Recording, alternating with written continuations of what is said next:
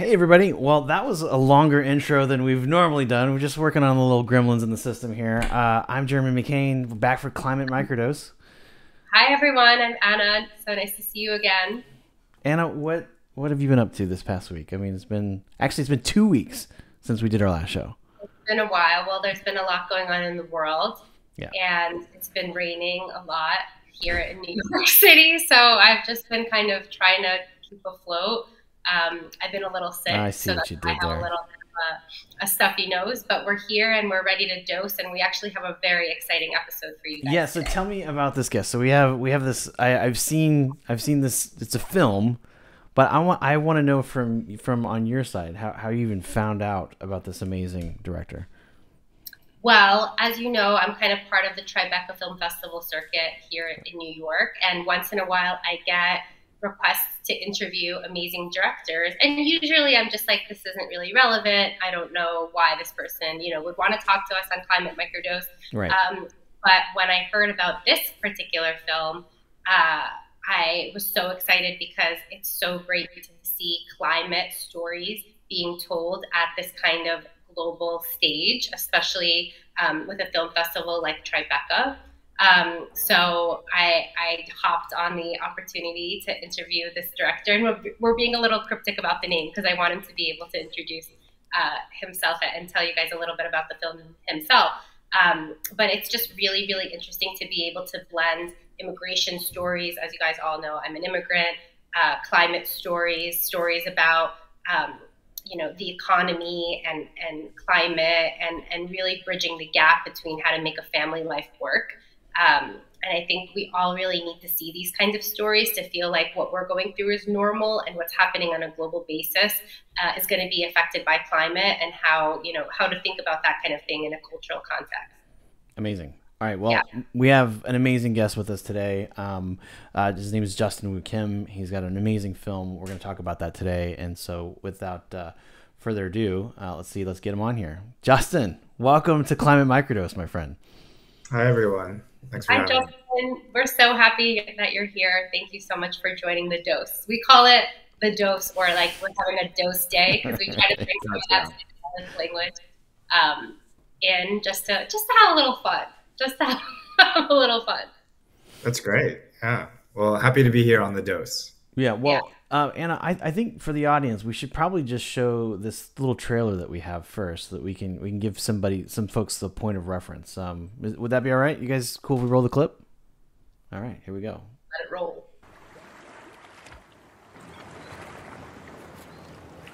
Turn on the sonar. Now, when you're driving, what you're hearing is bing, bing. Now, when I'm out driving, I don't even look at it. I listen. 태정아, 바다는 마르지 않는다. 자기야, 우리 도대체 여기서 뭐 하는 거야?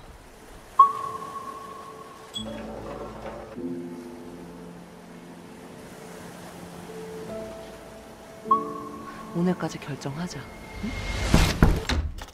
엄마, we need to go. 그래 가자 가자. 늦겠다. 가자 가자.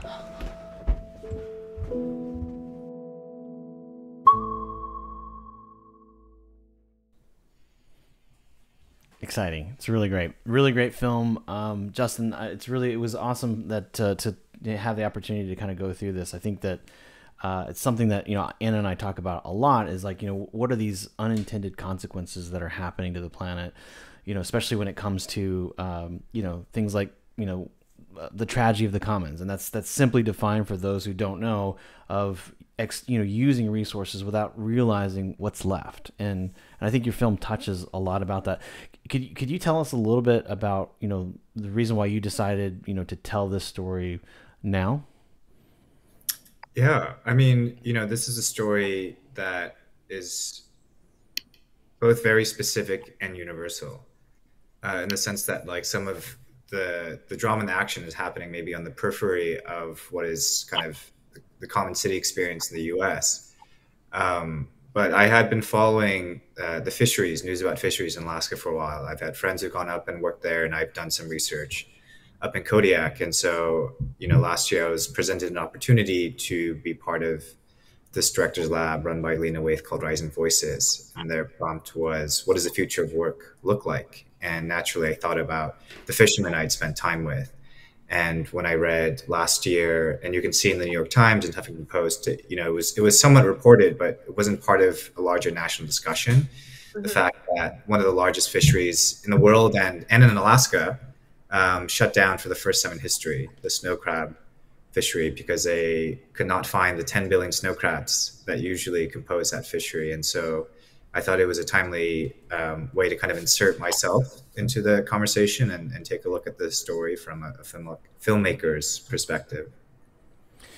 You know, when you when you look at that particular issue, I mean, you I think as as as artists and as storytellers, you know, you're you're always trying to figure out a way to kind of get some kind of emotional connection to the audience. You know, what do you hope uh, is the outcome of, of somebody who who watches this film? Yeah, I mean, I think you know, first and foremost, it's just to consider the the human lives and the families that rely on a lot of these kinds of forms of work that really rely on us having a healthy, balanced relationship with nature. And it's people like farmers and fishermen, um, herdsmen, uh, who have who are on the front lines of you know the, the the consequences that trickle down from a lot of the decisions we make as mm-hmm. consumers and as people who live in in the cities, um, especially in in a northern hemisphere. Yeah, I, I feel like you know we're all kind of used to our planet operating a certain way and being able to kind of yield a certain result from that, whether it's fishing or sunlight or rainfall or, or whatever it is. We're just kind of like used to a certain um, result just from being alive, just from being on the planet and the seasons shifting and things like that. And the fact that that is going to change, you know, inevitably, and it's seen firsthand with these snow crabs in Alaska, right? Like we could just see that they were here and now we can't make it work anymore. Like they're just physically not here anymore. Um, how do you think that we can all adapt to that as a, as a society better? Is it about listening to each other more? Is it about trying to stop climate change? Like, what are your thoughts about adapting to what is happening to us inevitably without um, us really having a say anymore, right? No, I mean, I mean that's a good question and and a big question. I think there are lots of answers to this, but personally, I do think it's it's about um, you know systemic accountability in the sense that you know I think it's very important for us as individual consumers to kind of change some of our habits, you know whether it's composting or recycling. But when we think about um, the way in which you know these larger companies and, and sort of incentives are built into research resource extraction.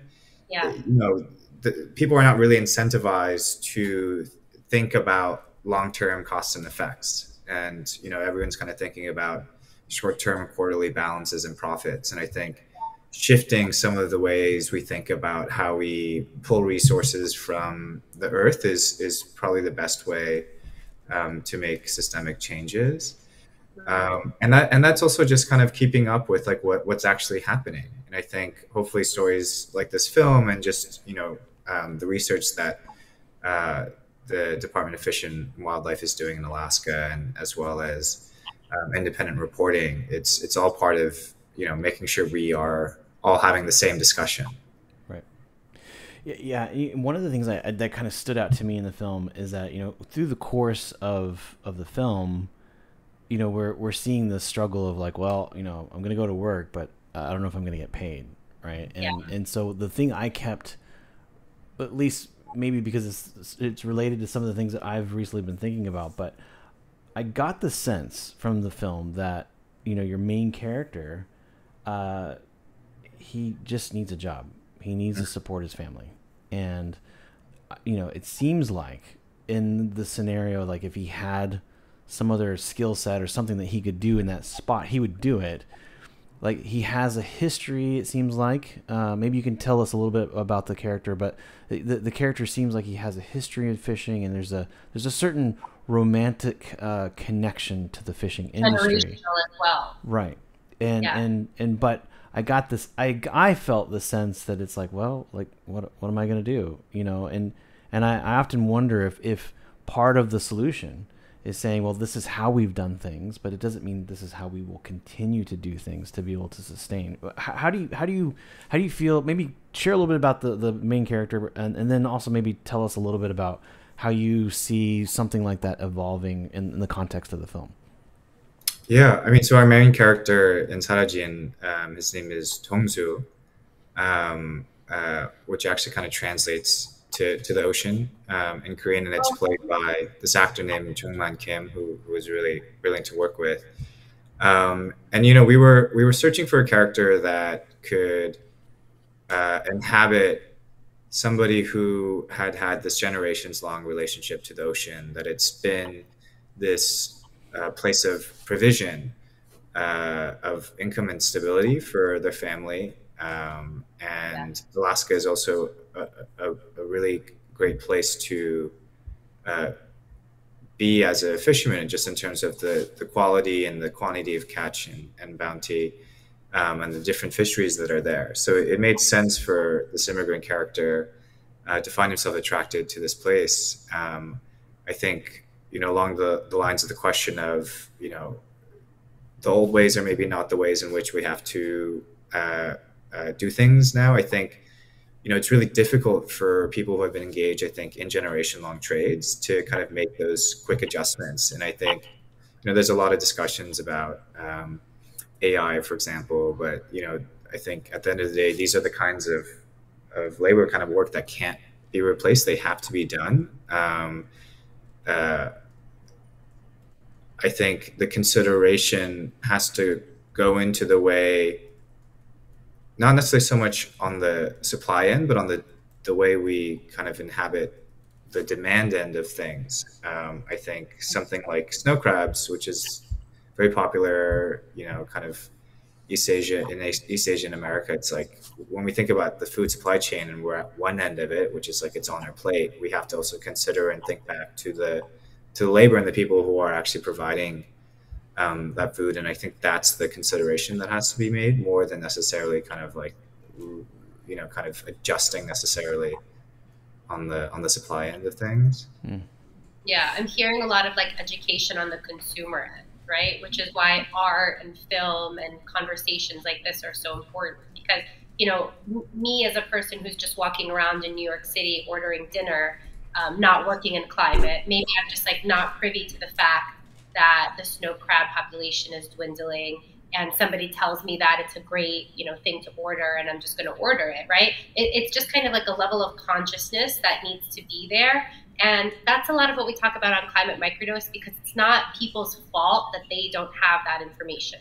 It's not like the government is telling us that it's not like it's the in the news channels and again like you said when we're in a city, we're not firsthand privy to seeing what's happening in the ocean, seeing what's happening with nature, because we're kind of a couple of layers removed, you know. So Right. it's really, I, I think it's a a part of the responsibility of the people who care of us, you know, doing this work to, to start educating people in a way that feels authentic to them, in a way that stirs story inside of their soul, um, rather than kind of, you know, ixnaying something or, or making them feel guilty about it. You know, I always think it's best to to show, not tell. You know.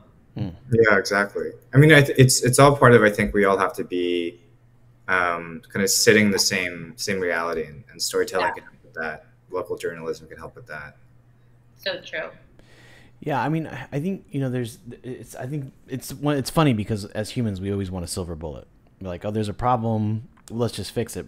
The, the, the real answer is that we didn't get here by a single decision. You know, we made, you know, we wake up. There's eight billion crew members of Spaceship Earth. Like we wake up every morning, uh, and we make the wrong decision not because we want to, but because it's just how we. It's just status quo, you know. And and I, I remember.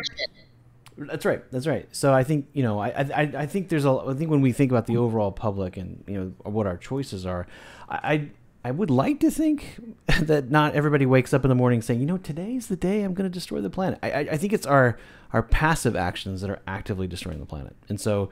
You know, I mean, fisheries is a is a is an interesting topic because in many cases it doesn't make money. It has to be subsidized by governments, and so, um, you know, but I, I do I do worry, and you know, especially after looking at your film, I, I couldn't help but think to myself, you know, well, here's here's a here's a f- problem, and we're trying to get people emotionally connected to this problem, but you know, whatever that solution is, do you ever see maybe coming out with like you know a version two of this film of saying like you know here's how we achieved success, here's how we we evolved from the next uh, the next problem into the into the, maybe a potential solution. Yeah. Um, you know that that's a really good question. I think it, it's really difficult because it's an ongoing problem, and even the experts haven't necessarily found a way. I mean, they I think they recently announced that the, the fishery may, uh, continues to be closed this year um, for for this for the season, and they've been able to confirm that um, you know it is the warming ocean that probably led to a mass so like starvation uh, incident with the 10 billion crabs it, it's a tough question because I think there is like a fine balance between um, regulation on kind of fisheries, um, all kinds of hunting or resource, extraction, and also just the real economic need for sometimes that is the main industry in these communities that are very remote. Um, you know, I think though I don't necessarily have you know a, a prescriptive solution, but I think being able to have these conversations and be just more aware of the fact that these are things that are happening um, at the very source of a lot of our food supply chains um, is going to help us kind of better consider not just on the consumer end, but also just how we want to hold people accountable.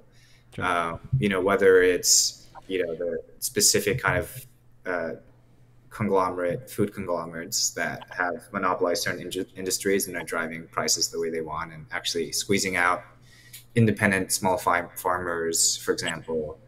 Um, it is again kind of like it just goes back to like can we as people who are not necessarily active in those industries like pay attention and and you know elevate the the voices that are um, speaking from those communities and so you know part of you know what we were able to do with this film was we we did go and, and do research and, and we're on the fishing boats and we're able to interview directly these these fishermen both in Alaska and in Korea just to get kind of both sides Hmm. of, of the ocean. Um, so I don't I don't have a, a solution. I think it's it's definitely it's an ongoing conversation for sure No, of course, of course. I mean, I think it's just, I think it's great to just always kind of bring up that, like, it's great to identify that there's a problem, but we also need to use whatever resources we have to try to find potential solutions. And I think by having a film like yours, it- it starts us at least on the path of thinking in that direction. yeah I, I love that you interviewed fishermen kind of on both sides of the world. Um, because it, it is one ocean at the end of the day. Were there any mindset differences between the two? I'm so curious about that.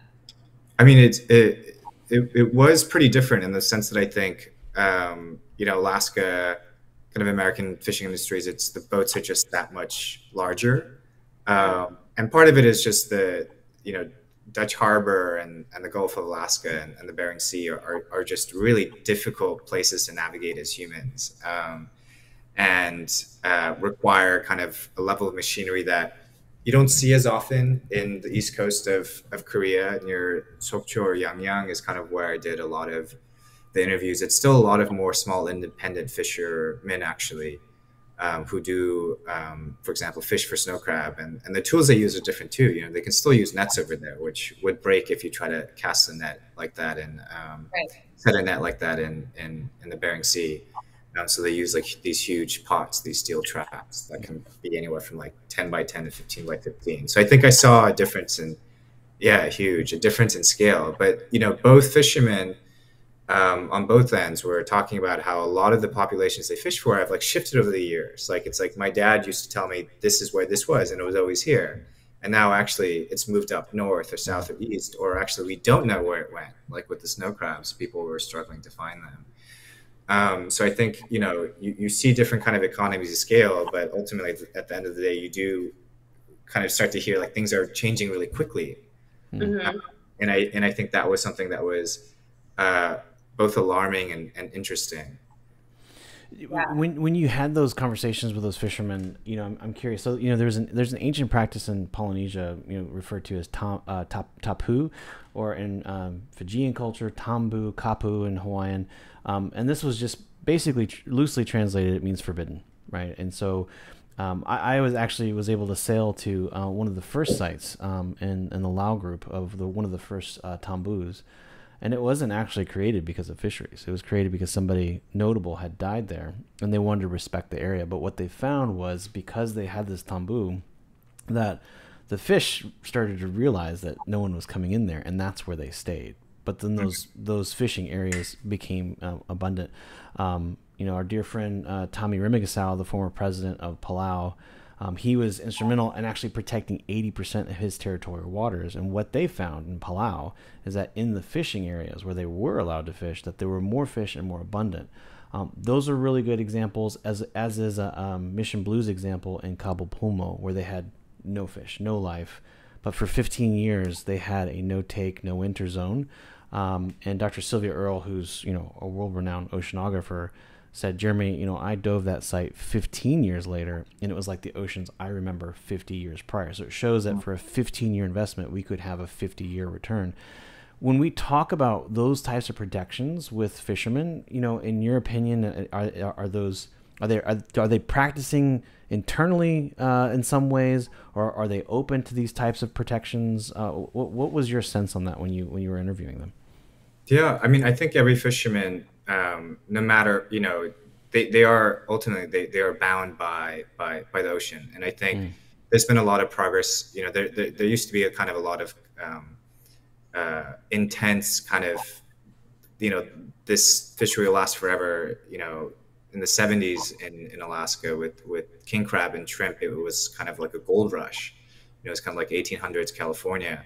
Um, but what happened? It, it, it, they kind of you really ran quickly through these populations, and I think recently, kind of like what you were saying, that uh, again, very special balance, and and you know, fishermen are very generally kind of you know you're you're a very independent um, kind of a person. You're able to spend weeks, months um, with like very few people in isolation, away from friends and family, and and I think you know the th- that builds a kind of character where you're you know you you are kind of first at hand and you're seeing it but i also think that there is definitely space for regulation and and you know the department of fish and wildlife is always trying to find how, how to best designate areas to to build a sustainable practice. And you know part of the problem nowadays is that you know they're doing these you know kind of trawls and, and surveys to figure out estimates of how much um, a certain fisher population is at, and they're just kind of finding that it's not at a level anymore where it's sustainable to, to go in and, and fish at the at the levels we had been before.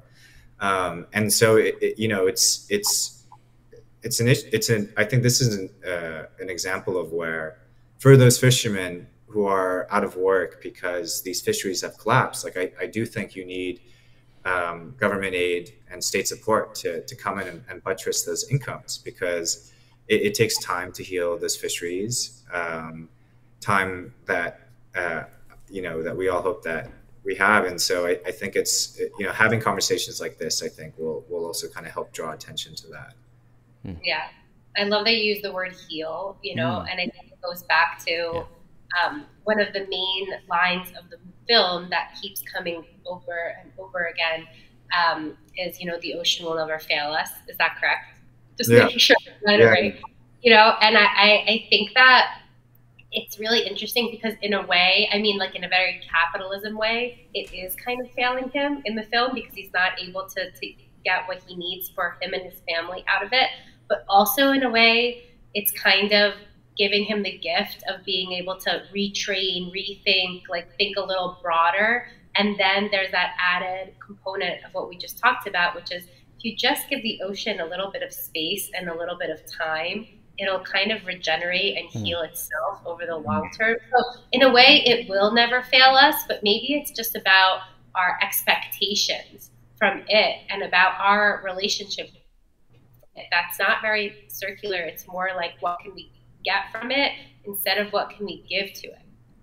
So Right. I, I feel like that's a really important, that's kind of a great place to, to end our conversation is just the idea of how can we give back to our ocean? You know, how can we make sure that we're giving as much as we're getting from it? Because, you know, there's science that shows even looking at it from a distance calms our nervous systems, de stresses us, takes, you know, those to- toxins and pollutants away out of our system. So if its existence and just seeing it peripherally while you're driving down the highway is healing from us, for us, imagine, you know, the potential if we really tapped into that.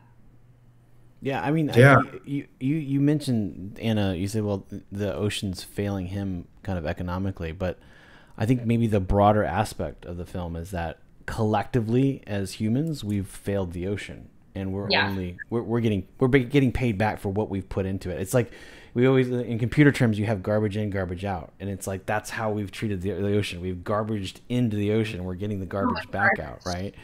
Like Um, garbage yeah well exactly. But but i think i think that's really the heart of the film. I, before we go i, I did want to touch i we you know i feel like justin i feel like we could talk to you all day. And i'm sure you've got like other things to do really important things. Um But macro Right, but I did want to touch a little bit on the artistic side of things. I thought Yeah. this film was absolutely, um, just absolutely beautiful.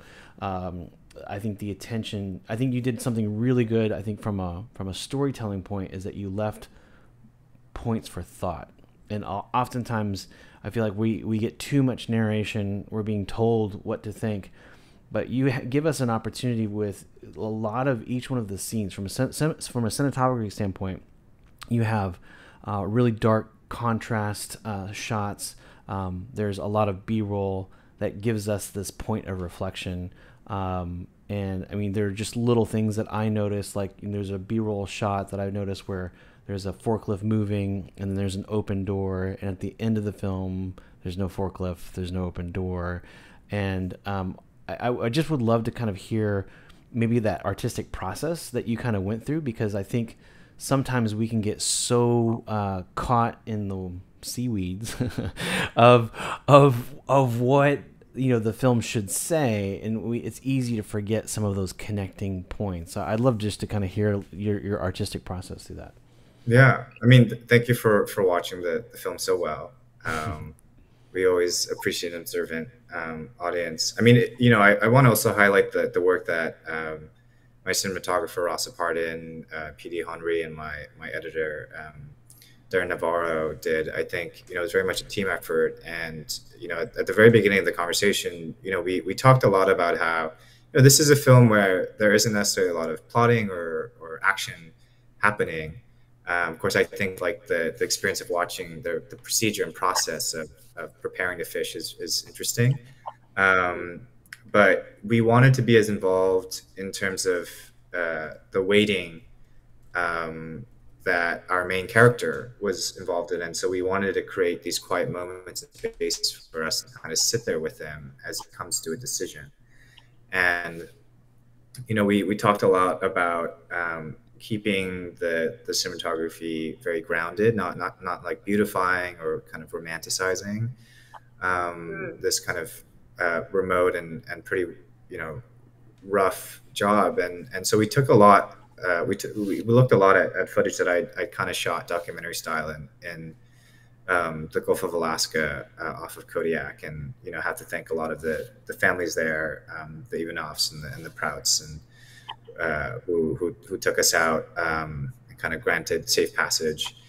Um, and so, you know, we were thinking a lot about um, so you know, kind of unifying our sense of, of time to the protagonist sense of time, which is dragging and and, and painful.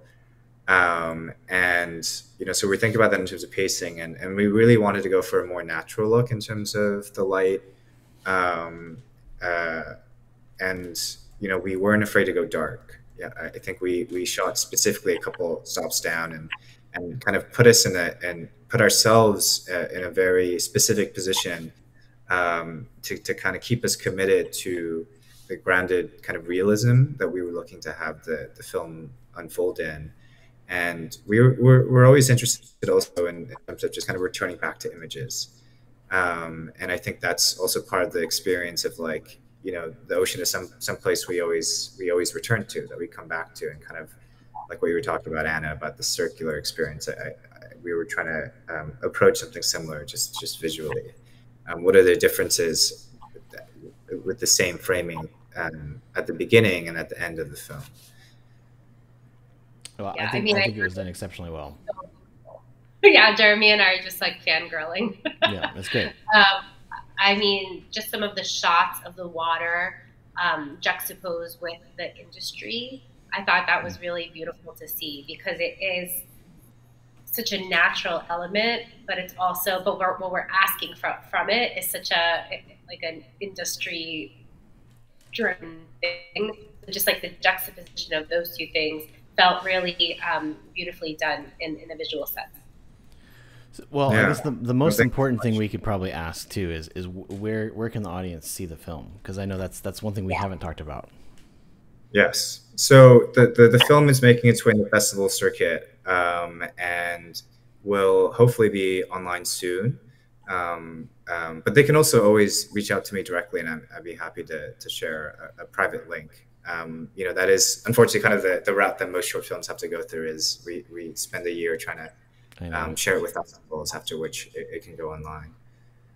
Yeah, well, that's why we're so happy to share it with our audience because it's kind of more of a close knit circle rather than just kind of, uh, you know, this broadly broadcast thing. So it is nicer to be able to share it one on one. And, you know, the film is short, it's not something that you have to sit down for a whole evening to watch.